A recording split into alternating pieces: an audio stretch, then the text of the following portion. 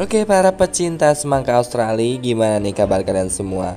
Kalau gue sih ya masih seperti biasa ya duduk santuy di sini sambil ngomongin istri orang eh, maksudnya game orang ya. Ya sambil nungguin kuntilanak lagi beranak kita akan ngebahas. Aduh otak gue malah traveling anjir. Kuntilanak beranak keluarnya dari mana? Dari punggung apa dari bawah? Aduh, udah fokus fokus fokus fokus. Please fokus. Aduh, please otak jangan traveling mulu.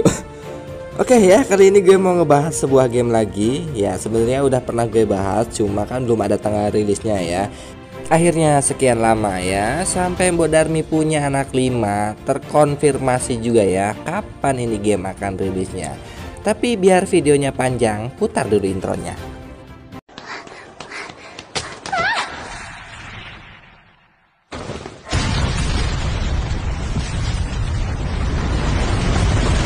Tarik ses Semongko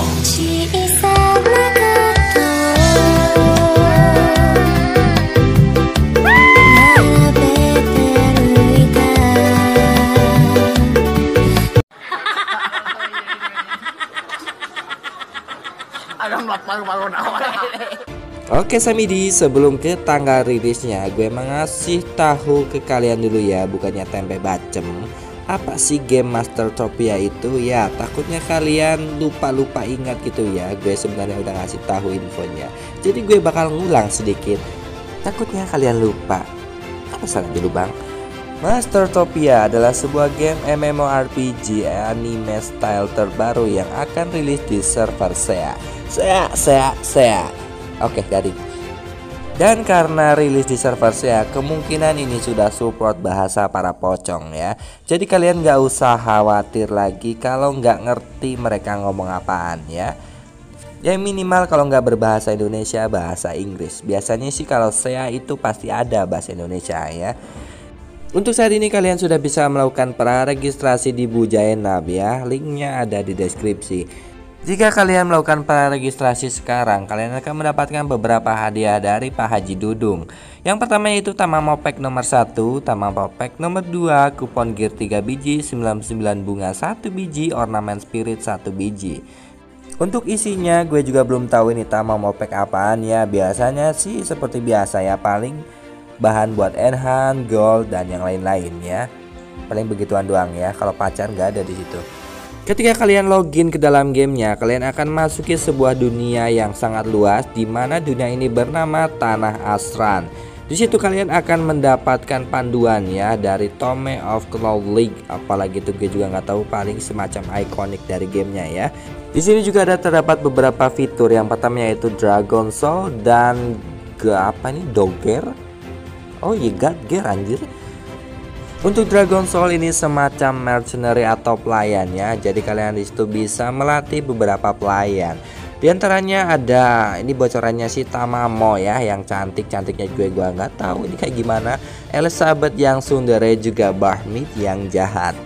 Dan juga ada kuntilanak yang imut. Mana ada anjir? Dan untuk event-event yang ada di dalam gamenya ini banyak banget ya, seperti Fight Epic Boss di sini. Ada beberapa namanya bocorannya tapi bentuknya belum dikasih tahu ya sama developernya. Ini ada Winwolf sama Sucubus juga. Aduh, Sucubus gue ngebayanginnya ke mana anjir traveling lagi dah otak gue. Soalnya ada Shadow Drag. Ini bos ya, bos yang mengintai di sekitar reruntuhan medan perang. Ini bisa dibilang semacam world bossnya ya. Selanjutnya di sini juga kalian bisa nikah ya. Di sini ada sistem soulmate. Jadi buat kalian yang jomblo-jomblo di dunia nyata ya, bisa lah di alam gaib kalian gak jomblo. Maksudnya di game ya.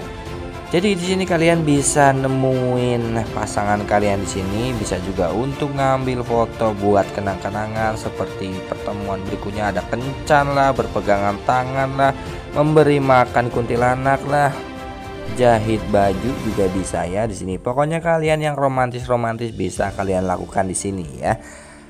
Dan satu hal yang ketinggalan, oh iya tanggal rilisnya anjir. Untuk tanggal rilisnya sendiri, developer melalui akun Facebooknya itu memberitahu kalau game ini akan rilis pada tanggal 7 Januari 2021 ya.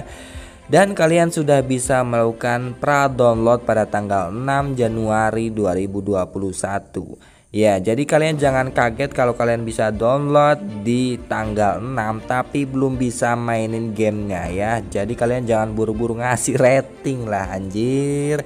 Kasihan developernya, itu game belum rilis, udah pra download tapi kalian udah ngasih rating dulu karena nggak bisa main gamenya. Ya iyalah orang belum rilis. Untuk jamnya sendiri yaitu sekitar jam 10 GMT plus 8 Kalau kita kan plus 7 ya kalau Indonesia bagian Barat Berarti sekitar jam 11 ya Sekitar jam 11 waktu Indonesia Barat. Oke jadi mungkin cukup sekian ya Informasi yang sangat bermanfaat sekali. Panjang betul. Sampai jumpa di next video